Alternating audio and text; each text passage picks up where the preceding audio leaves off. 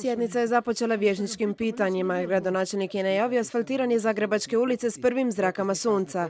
Govora je bilo i o koncesiji na Žičaru. Problem s naplatom nastao jer Ministarstvo financija nije dalo potrebnu suglasnost na 15% koncesiju trajanju do 50 godina. Ja ću vrlo direktno reći, čini mi se da se pogoduje velikom investitoru. Vlahušić je najavio završetak radova na azilu za životinje u roku od šest mjeseci te skoro rješavanje imovinsko-pravnih odnosa na groblju Dubac. Najvažnija rasprava na sjednici vodila se oko javne garaže, a povod je bio potraživanje medija grupe Odgrada od preko 100 milijuna kuna. Prvo pitanje je da li uopće išta trebamo platiti. Po nama, po meni osobno ne trebamo platiti. Arbitraža je rekla da ne treba platiti ništa. Ko će sad preuzeti na sebe odgovornost da nešto plati? Vječnica Murati naglasila je kako je tijekom gradnje garaže došlo do sumnjivog porasta cijene. I kazne, i doprinosi, i gradnja, i novac koji je šetao do Malte, i povrat medija grupi, i dobavljači, izvođači, projektanti i ostalo, ima se traga u gradu Dubrovniku za 14 milijuna zare 6 milijuna eura.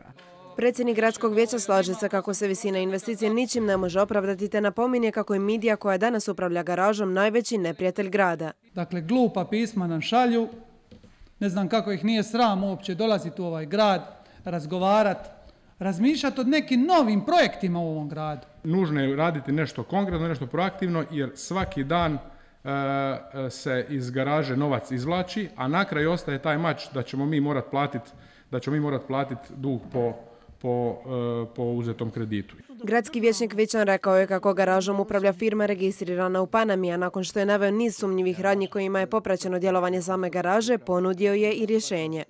Ja bih izučio da li ima elemenata da ustanemo s tužbom, tužbom radi grubog kršenja ugovora o zakupu i upravljanju. Temeljio bi ga na činu jednostranog osnivanja vlastitog društva za upravljanje garažom bez učešća grada. Uz jasne namjere za preuzimanje garaže, vijećnici su odlučili naknadno se posavjetovati i doći do zajedničkog zaključka o daljnjem postupanju u slučaju garaža.